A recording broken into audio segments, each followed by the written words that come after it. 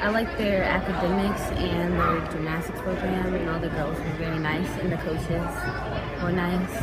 It was good because I've been on so many unofficials, and it gets like expensive, so it's a weight lifted off your shoulder to sign. It feels good to be settled because it gets kind of hard moving like from your family and stuff. So I've always been like separated from my family because I've always moved.